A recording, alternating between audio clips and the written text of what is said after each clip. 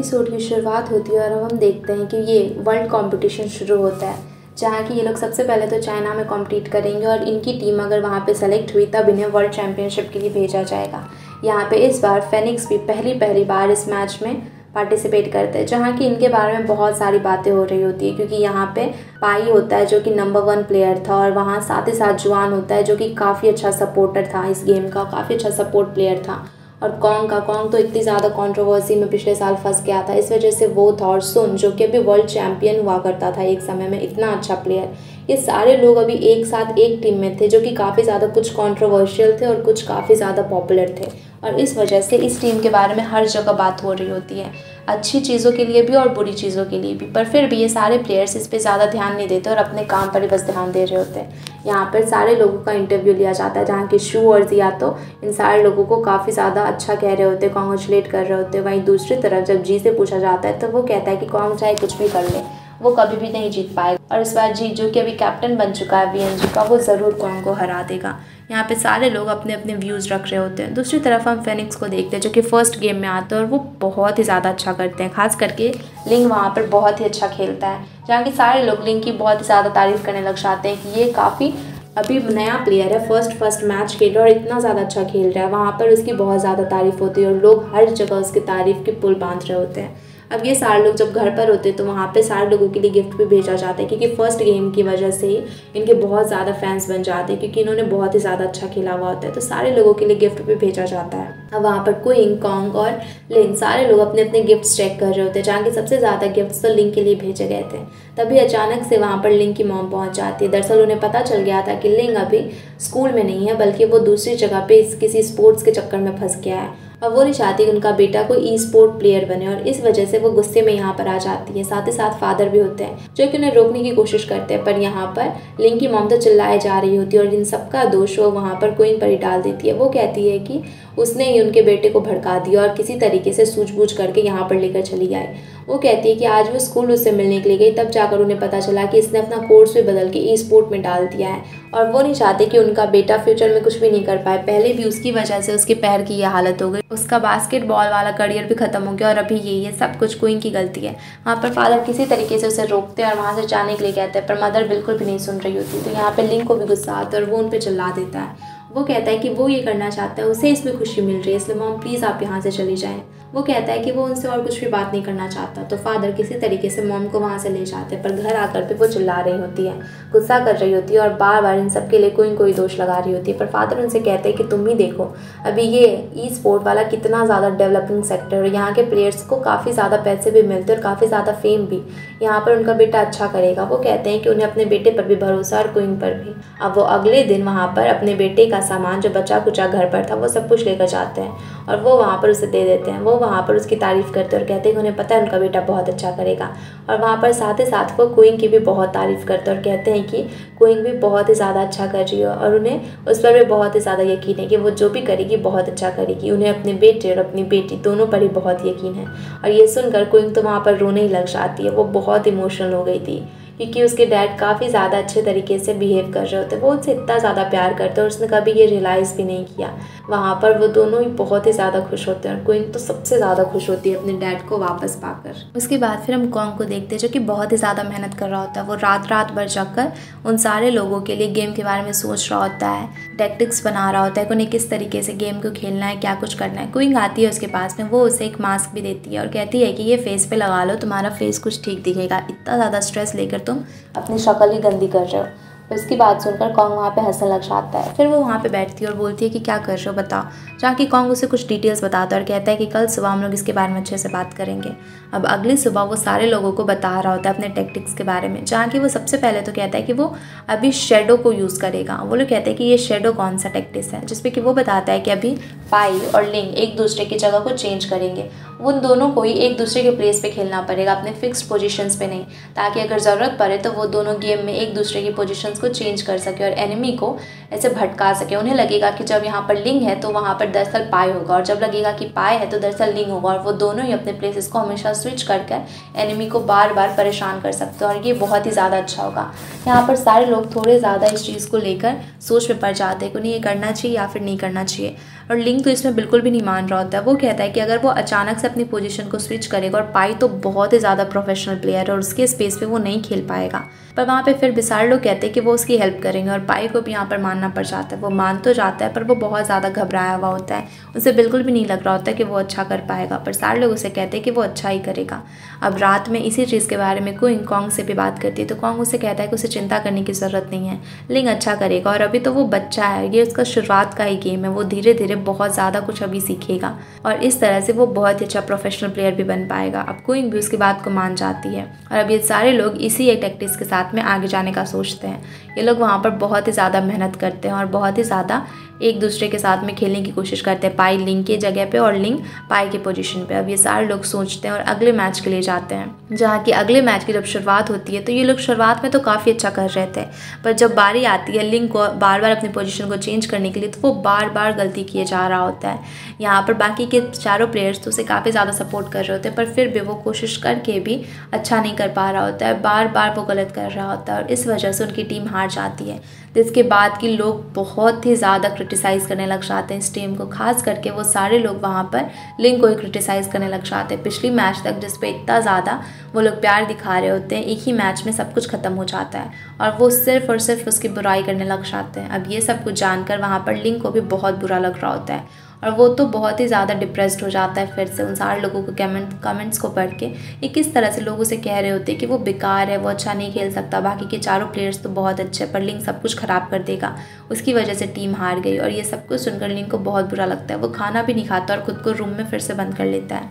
वहाँ पर ई और जुआन उसे उठाने की कोशिश करते हैं, पर वो किसी की भी बात नहीं सुनता। पाई नीचे में होता है। वो कहता है कि उन्हें छोड़ दो कुछ समय के लिए। कॉन्ग और क्विंग भी आते हैं। जहाँ की वो लोग भी सोच रहे होते हैं कि अब क्या करना चाहिए। कोइंग अब अकेले में कॉन्ग से कहती है कि शायद कॉन्ग ने गलती कर दी, उसे ऐसा नहीं करना चाहिए था। लिंग बाद में अच्छा कर सकता है, पर अभी उसने उतना ज़्यादा भी प्रैक्टिस नहीं किया और वो तो बच्चा है ना, अचानक से इतने बड़े इंटरनेशनल मैच में अगर वो इस तरीके से करेगा तो वो हार ही जाएगा ना, वो नहीं बना पा रहा है, उसे और भी ज़्यादा प्रैक्टिस की ज़रूरत है, इसलिए अभी शायद वो टाइम ले।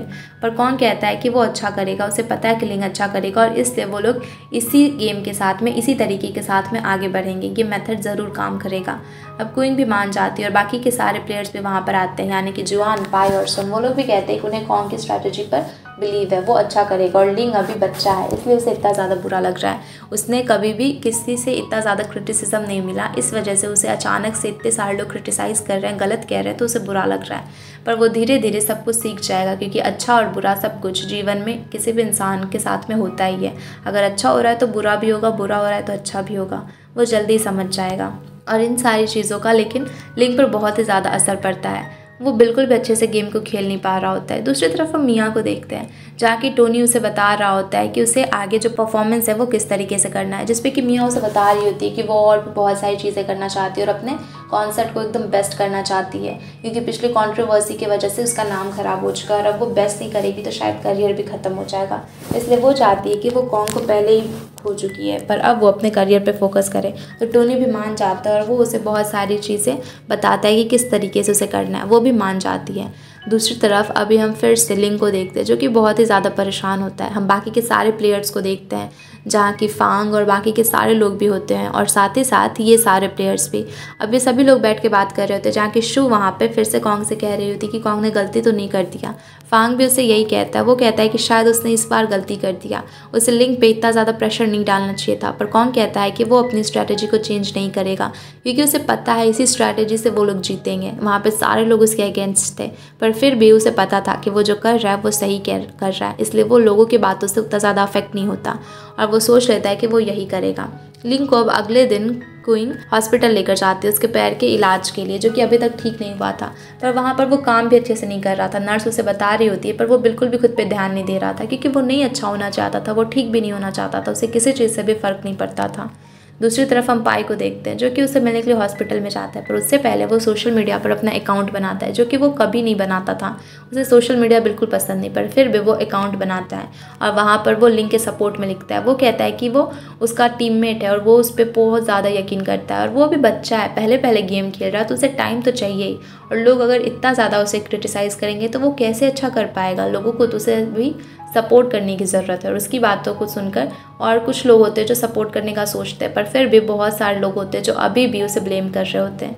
इन सारे मैसेज को बाकी के टीम मेंबर्स भी देखते हैं और वो सारे लोग भी वहाँ पे कमेंट करने लग जाते कि वो लोग बहुत ही ज़्यादा खुश है कि पाई ने कुछ कहा। वो लोग भी लिंक के सपोर्ट में खड़े होना चाहते हैं। वो लोग वहाँ पर लिंक की बहुत ज़्यादा तारीफ़ करते हैं। फिर हम हॉस्पिटल का सीन देखते हैं, जहाँ की अब जब लिंक के पास में कोइंग होती है, वो उसे वहाँ से ले जा रही होती है, पर वो बिल्कुल भी उसकी बात नहीं सुन रहा होता है। अभी वहाँ पर पाई आ जाता है, पाई उसे चलने के लिए कहता है, पर वो पाई पे भी चिल्लाने लग जाता है और कहता है कि उसे कुछ नहीं करना, वो एकदम बेकार है, वो बिल्कुल भी अच्छा प्लेयर नहीं है, वो कुछ भी नहीं कर सकता, वो एक फेलियर है। लिंक पर पाई बहुत ज़्यादा चिल्लाता है, पर लिंक बिल्कुल भी उसकी बातों पर ध्यान नहीं देता, पर तभी वहाँ पर वो क्वीन को बीच में ले आता है, वो क्वीन के बारे में बोलने लग जाता है कि सब कुछ क्वीन की गलती और क्वीन अगर अच्छे से रहती, उस दिन अगर, उस दिन अगर उसका एक्सीडेंट नहीं हो पाता लिंक का क्वीन की वजह से तो आज वो बिल्कुल अच्छा होता, सब कुछ ठीक होता उसके लाइफ में।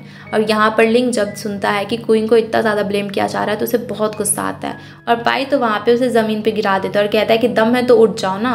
और वहाँ पर वो उसे बहुत ज़्यादा चिल्लाता है और इस वजह से अपनी बहन को यहाँ पे बेइज्जत होते हुए देख के लिंग को बहुत गुस्सा आता है और वो खड़ा हो जाता है और सीधे जाके पाई को एक पंच मार देता है। पर तभी वो हंसने लग जाता है, कहता है कि देखो, तुम अपने पैरों पर खड़े हो। फिर वो उसे कहता है कि जब तुम अपने मन में ऐसा सोच रहे थे कि तुम्हें कुछ करना है, तुम्हें कुछ करना भी खड़े हो कि मुझे मारना है तो तुम उस डिटर्मिनेशन के साथ में खड़े भी हो पाए। तो सोचो उसी डिटर्मिनेशन के साथ में अगर तुम ये सोचोगे कि मुझे जीतना है, मुझे जीतना है तो तुम क्यों नहीं जीतोगे? कैसे नहीं जीतोगे? और इससे वो बहुत ही ज़्यादा मोटिवेट होता है और वो फाइनली मान जाता है। फिर वो आता है वापस सारे टीम मेंबर्स के पास में और कहता है कि अब चाहे कुछ भी हो जाए, वो लोग ज़रूर जीतेंगे। और इसे इस तरीके से खुश देकर बाकी के टीम मेंबर्स भी बहुत ज़्यादा खुश होते हैं और वो लोग पाई को भी बहुत ही ज़्यादा थैंक यू कहते हैं, क्योंकि पाई बहुत ही ज़्यादा अच्छा हो गया था और अभी उसे टीम के बारे में भी पता चल गया था। वो सबके साथ में इतनी अच्छी बॉन्डिंग बना चुका था और सारे लोग बहुत ही ज़्यादा खुश होते हैं और बहुत ही ज़्यादा मेहनत करने लग जाते हैं। हम देखते हैं कि अफांग और बाकी के पहले जो प्लेयर्स हुआ करते थे, वो सारे लोग वहाँ पे आते हैं, शूल, वो वो सारे लोग। और उनके साथ में एक और प्लेयर होता है, जो कि अभी चाइना का बेस्ट ई स्पोर्ट प्लेयर होता है, जिसका नाम की ली होता है। वो लोग ली को भी लेकर आते हैं और कहते हैं कि ली अभी उन सारे लोगों को ट्रेन करेगा। ये जानकर ये लोग बहुत ही ज़्यादा खुश हो जाते हैं और अब सारे लोग बहुत ही मेहनत करके वहाँ पर गेम खेलने लग जाते हैं। बाकी के सारे प्लेयर्स और साथ ही साथ ली, ये सारे लोग इन लोगों को ट्रेन कर रहे होते हैं और किस तरह से आगे उन्हें खेलना है। ये लोग लिंक को भी ट्रेन करते हैं और उसे समझा रहे होते हैं कि पाई की जगह पर वो किस तरीके से अच्छे से खेल पाएगा। और पाई भी उसकी बहुत ज़्यादा हेल्प कर रहा होता है और इन सारी चीज़ों से लिंक भी बहुत इंप्रूव करता है।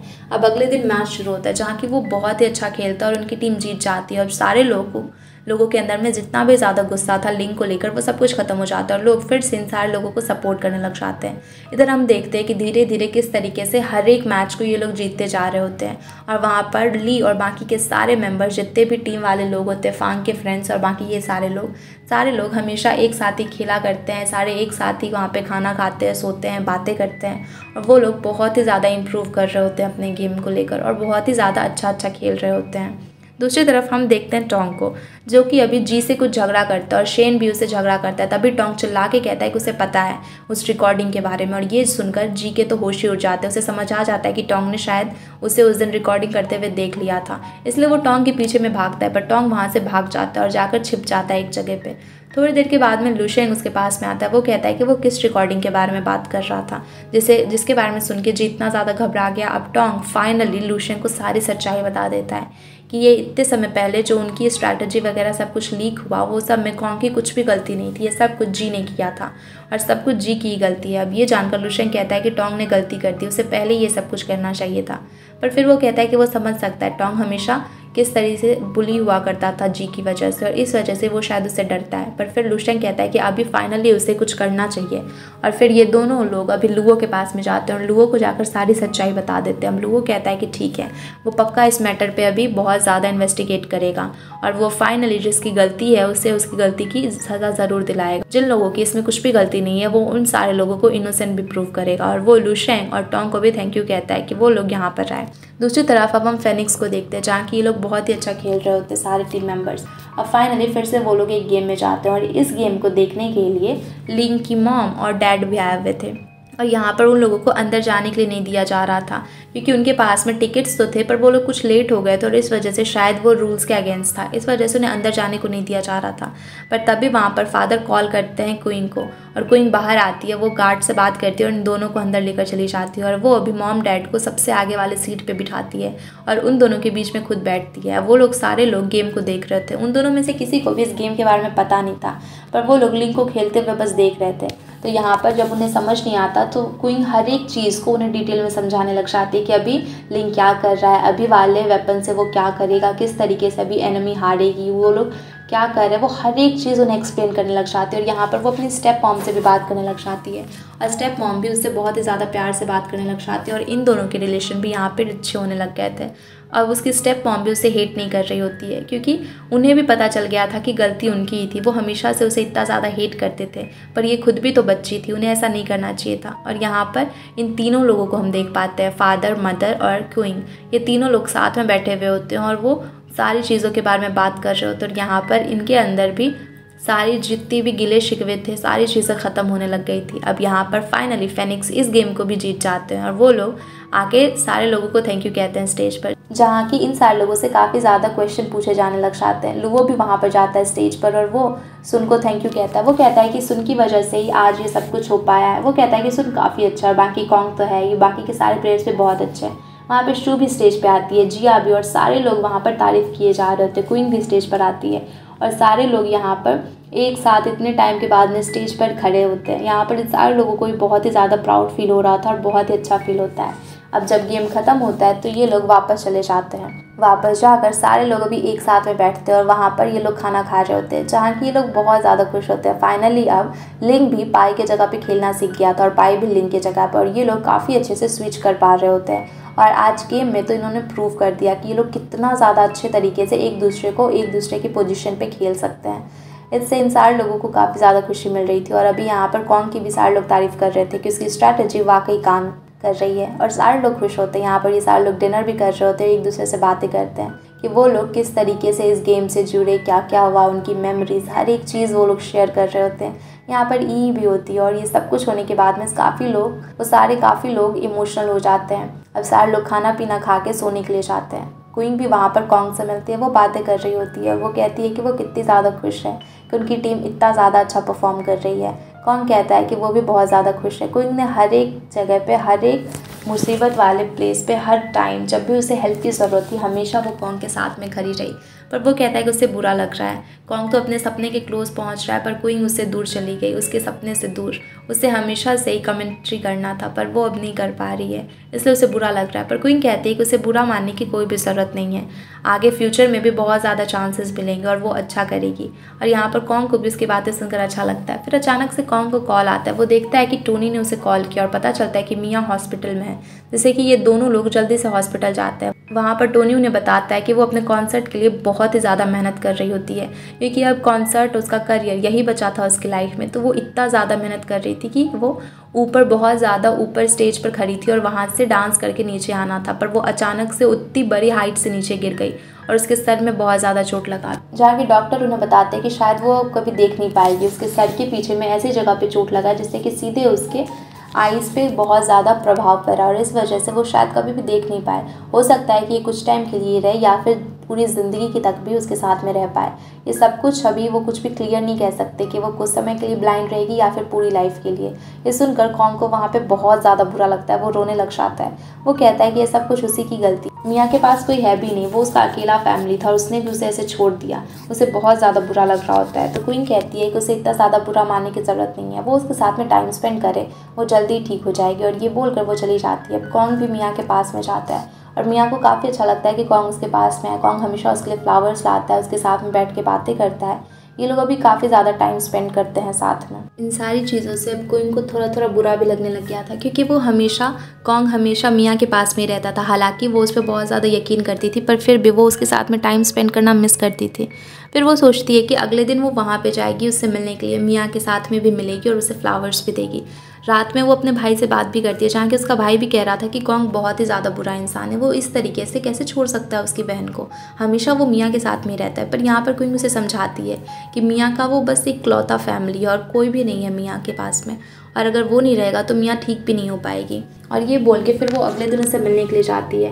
पर अगले दिन हॉस्पिटल में हम देखते हैं कि कौन मियाँ को गले लगाए हुए हैं। क्योंकि जैसे वो रूम में घुसता है तो देखता है कि मियाँ वहाँ पर कुछ ढूंढ रही होती है और वो गिर जाती है और वो बहुत ही ज़्यादा रो रही होती है। इसलिए वहाँ पर कौन उसे गले लगाकर शांत करवा रहा होता है। पर जैसे ही वहाँ पर क्विंग जाती है फ्लावर्स देने के लिए तो वो उन दोनों को हक करते हुए देखती है तो उसे बहुत ही ज़्यादा बुरा लगता है और वो कुछ नहीं कहती और चुपचाप वहाँ से निकल कर चली आती है।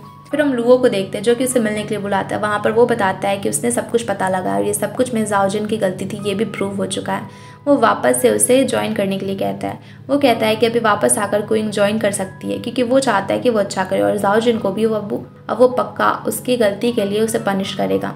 यहाँ पर वो कहती है कि वो सोच कर बताएगी। उसके बाद फिर हम लोगों को देखते हैं, जिसके सामने में कि जाओजिन आती है, वो उसे सॉरी कहती है और कहती है कि आगे से वो कभी ऐसा नहीं करेगी, उसे एक बार गलती होगी वो उसे माफ़ करते पर लुओ उसे माफ़ नहीं कहता और कहता है कि उसने जो गलती करा है, उसके लिए उसे माफ़ी नहीं मिल सकती। और अभी जाओजिन ने खुद से अपना करियर ख़राब किया वहाँ पर वो ये भी कहता है, ऐसा नहीं था कि जाओजिन में बिल्कुल भी टैलेंट नहीं था। जाओजिन टैलेंटेड थी, अगर वो कोशिश करती तो वो और भी ज़्यादा अच्छा कर सकती थी।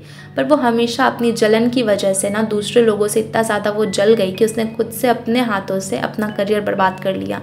वो हमेशा शॉर्टकट्स देखती थी कि कहाँ से वो जल्दी ऊपर चढ़ सके और शॉर्टकट से कभी भी वो अच्छा नहीं कर पाएगी और इस वजह से उसने खुद से सब कुछ ख़राब किया। वहाँ पर लुओ से कहता है कि अब जाओजिन वापस तो आ नहीं सकती, इसलिए वो जो भी करेगी वो अच्छे से करे और आगे फ्यूचर में कभी इतनी बड़ी गलती ना करे। ये बोल के वहाँ से लुगो चला जाता है और साउजिन को बहुत बुरा लगता है। उसके बाद जाओजिन गाड़ी में बैठी हुई होती है। तभी वहाँ पर उसका बॉस भी आता है। उसका बॉस उसे कहता है कि वो सब कुछ ठीक कर देगा। वो चाहे तो वो जाओजिन की हेल्प कर सकता है। जाओजिन को बस इतना ही करना होगा कि वो सारा दोष अभी जी पे डाल दे। वो क्या है कि जी ने ही सब कुछ करा था। उसने ही ये सब कुछ लीक किया। सब कुछ उसी ने किया। जाओजिन की तो इसमें कोई भी गलती नहीं है। और इस वजह से वो बच जाएगी। पर यहाँ पे जाओजिन अपने बॉयफ्रेंड का साइड लेने का सोचती है। वो कहती है कि उसने हमेशा से ही गलत किया और अभी वो जी के साथ में भी गलत नहीं करेगी। वो अपने बॉयफ्रेंड के साथ में इतना गलत नहीं कर सकते और इसमें जी की गलती नहीं है, उन दोनों की ही गलती उन दोनों ने ही ये किया है। यहाँ पर उसका बॉस कहता है कि वो सब कुछ ख़राब कर रही है, अगर वो जी पे ब्लेम डाल देगी तो वो फिर से अपने करियर को रिवाइव कर सकती है, सब कुछ ठीक कर सकती है। पर यहाँ पर जाओजिन को अपनी गलती का एहसास हो चुका था और वो फिर से एक नई गलती नहीं करना चाहती थी और इसलिए वो बॉस को मना कर कर वहाँ से चली जाती है। बॉस उससे कहते रहता है पर फिर भी जाओजिन उनकी एक भी नहीं सुनती। उसके बाद क्वीन जब घर आती है तो हम देखते हैं कि सारे लोग वहाँ पे बहुत खुश होते हैं। वो उसे बता रहे होते हैं कि कैसे सबको पता चल चुका है कि इसमें जाओजिन की गलती है। और वो वापस से जाकर वहाँ पर जाए तो जीडीवी में काम कर सकती है, पर वो मना करती है। वो वहाँ पर कुछ भी उतना स्माइल नहीं करती, कुछ नहीं कहती और जाने लग जाती है। सारे लोग उससे पूछते हैं तो वो कहती है कि वो पहले लोगों से मिल चुकी है, इसलिए उसे पता था। और वो चली जाती है। पर यही को समझ में आ जाता है कि पक्का कुछ तो गड़बड़ है। उसकी फ्रेंड इतनी ज़्यादा उदास है। वो उससे मिलने के लिए जाती है, जहाँ की वो फूट फूट कर रोने लग जाती है। यहाँ पर क्वीन कहती है कि आज वो गई थी मियाँ से मिलने के लिए हॉस्पिटल पर उसने कॉन्ग को वहाँ पे हक करते हुए उसे देखा। उसे बहुत ज़्यादा बुरा लग रहा है। वो कभी भी गलत नहीं सोचती उन दोनों के बारे में, ऐसा कुछ भी नहीं है। वो कॉन्ग पे ट्रस्ट भी करती है, पर फिर भी कॉन्ग उस पर बिल्कुल भी ध्यान नहीं दे पा रहा। ये उससे अब नहीं सहा जा रहा। उसे बहुत बुरा लग रहा है और वो यहाँ से जाना चाहती है। वहाँ पर यही कहती है कि उसने पक्का अपना मन बना लिया, उसे यही करना है, जिस पर वो भी हाँ करती है। अब शाम में जब कौन घर आता है तो वो हर जगह कोई को ढूंढ रहा होता है, पर कोई उसे कहीं भी नहीं मिलती। तो वो जुआन से भी पूछता है, बाकी के सारे लोगों से भी पूछता है, पर किसी ने भी वहाँ पर उसे नहीं देखा हुआ था। अब वो लोग जब उसके रूम में जाते हैं, वहाँ पर भी वो नहीं होती। बाहर आते तो देखते कि वहाँ कुछ लेटर्स रखे हुए थे, उन चारों लोगों के लिए। वो सारे लोग उसे लेते हैं और पढ़ने लग जाते हैं, जहाँ की उन सारे लेटर्स को किसी और ने नहीं, बल्कि कोई नहीं लिखा हुआ होता है। उन सारे लोगों से कहती है कि वो जा रही है और सारे लोगों को कुछ ना कुछ कहती है। जैसे कि वो जुआन से कहती है कि अब वो जा रही है तो वो उसके गंदे सॉक्स को नहीं धो पाएगी, उसे खुद ही ये करना पड़ेगा। वो अपने भाई से भी कहती है कि वो अपना ध्यान रखे और अच्छे से काम पर भी फोकस करे और गेम पर भी ध्यान दे। फिर वो पाई से भी कहती है कि पाई बहुत ही अच्छा इंसान है। और वो बहुत ही अच्छा कर रहा है टीम के साथ में और उसकी यूनिटी से वो काफ़ी ज़्यादा इम्प्रेस है। और वो और भी अच्छा कहती है, वो सुन को भी कहती है कि वो बहुत अच्छा कर रहे हैं और उसे पूरा यकीन है कि वो लोग पक्का जीतेंगे। फिर वो कॉन्ग से भी कहती है कि अभी उसे अच्छा नहीं लग रहा था, इसलिए वो दूर जा रही है। जब उसे सब कुछ ठीक लगेगा, वो वैसा कुछ सोचेगी तो वापस शायद आए। ये बोलकर वो वहाँ से जा रही है। अब सारे लोगों को समझ आ जाता है कि वो यहाँ से चली गई है।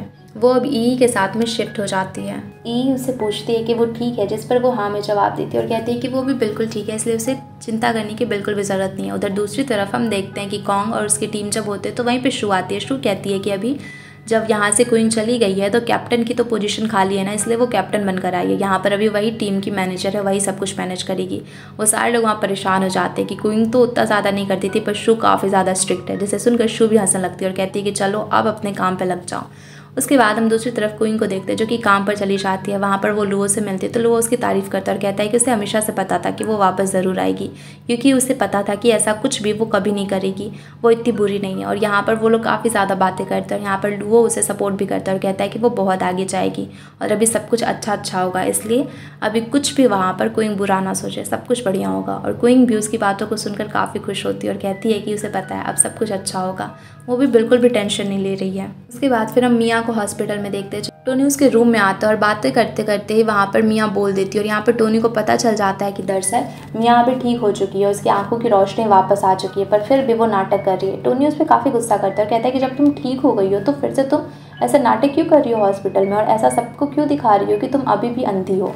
जिस पर कि वो कहती है कि वो अब कौन को दोबारा नहीं खोना चाहती। अब ये सुनकर टोनी का दिमाग फिर से ख़राब हो जाता है। टोनी कहता है कि इतना सब कुछ हो गया तुम्हारी लाइफ में। अब जब फाइनली सब कुछ ठीक हुआ था, तुम इतनी ज़्यादा मेहनत करी थी, हर एक चीज़ बढ़िया हो गया था। कॉन्सर्ट होने वाला था, सारे लोग तुम्हारे साथ में कॉन्ट्रैक्ट साइन कर रहे थे, सब कुछ अच्छा था। फिर से तुम्हें ये सब करने की क्या ज़रूरत थी? पर यहाँ पर वो कहती है कि वो कौन को जाने नहीं देगी। चाहे कुछ भी हो जाए, वो कौन को नहीं छोड़ सकती। टोनी भी उसकी इस सारी ऑब्सेशन वाली चीज़ों से परेशान हो चुका था। टोनी कहता है कि तुम उससे प्यार नहीं करती। अभी जिस पॉइंट पे और जिस तरीके से तुम बिहेव कर रही हो, मुझे तो ऐसा लगता है कि ये बस एक ऑब्सेशन रह गया और कुछ भी नहीं। पर वहाँ पर इस चीज़ को मानने से मियाँ बिल्कुल भी इनकार करती है। वो कहती है कि कौन सिर्फ़ उसका वो कुछ भी करेगी कौन को अपने पास में रखने के लिए। और फिर वो टोनी से भी प्रॉमिस ले लेती है कि वो कौन को नहीं बताएगा। टोनी भी कुछ नहीं कर पाता और वो उसे प्रॉमिस कर देता है कि ठीक है, मैं नहीं बताऊँगा। पर टोनी को बहुत बुरा लगता है कॉन्ग को देखे कि कॉन्ग बेचारा इस तरीके से इसका इतना ज़्यादा ख्याल रख रहा है और यहाँ पर वो उसे झूठ कह रही है, पर फिर भी वो कुछ नहीं कर पाता। हम उधर कॉन्ग को भी देखते, जो कि सुन के रेस्टोरेंट में उसे साथ में बैठ के बातें कर रहा होता है। सुन उसे कहता है कि तुमने क्वीन को जाने दे दिया। जिसपे कि वो कहता है कि उसने जाने नहीं दिया है। वहाँ पर वो गई है ताकि वो खुद का अपना एक करियर बना सके और कॉन्ग उससे इसलिए मिलने के लिए नहीं जा रहा है, क्योंकि अगर वो जाएगा, शायद मना के उसे वापस ले आए तो उसका करियर ख़राब हो जाएगा।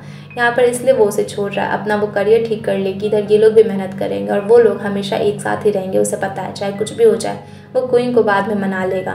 सुन भी उसकी बात को मानता और कहता है कि फिर तो उसने ठीक ही किया, अगर इस चीज़ से क्वीन का भी करियर बन रहा है तो। कौन कहता है कि उसे थोड़ा समय और चाहिए, फिर सब कुछ ठीक कर देगा। सुन भी उसकी बात से एग्री करता है। अगले दिन हॉस्पिटल में वो फिर से मियाँ से मिलने के लिए जाता है, जहाँ की टोनी उसे फिर से देखता है मियाँ के क्लोज में तो वो उसे बताना चाहता है कि मियाँ उसके साथ में धोखा कर रही है, पर फिर भी वो कुछ नहीं कह पाता। उधर हम देखते हैं कि बेचारा कौंग मियाँ का बहुत ज़्यादा ख्याल रख रहा होता है, उससे बातें कर रहा होता है। मियाँ भी उससे बहुत सारी बातें कर रही होती है। यहाँ पर कौंग उसके लिए जितना कुछ हो सके सब कुछ करने की कोशिश कर रहा होता है ताकि वो जल्दी से जल्दी ठीक हो जाए। उसके बाद जब वो जाने लग जाता है तो अचानक से उसकी नज़र वहीं पर उसके पिल्लों के नीचे में एक बुक पर पड़ती है और वो देखकर कौंग समझ जाता है कि शायद मियाँ ठीक हो चुकी है और वो अभी भी नाटक कर रही है। बस वो मियाँ की तरफ़ देखता है, पर जानने के बावजूद भी वो कुछ भी नहीं कहता। और वहाँ पर बिना कुछ कहे उसे बाय कह कर जाने लग जाता है। और इसी के साथ में ये एपिसोड यहीं पे ख़त्म हो जाता है। थैंक्स एवरीवन फॉर वॉचिंग और वीडियो अच्छी लगी हो तो वीडियो को लाइक करके चैनल को सब्सक्राइब ज़रूर कर देना।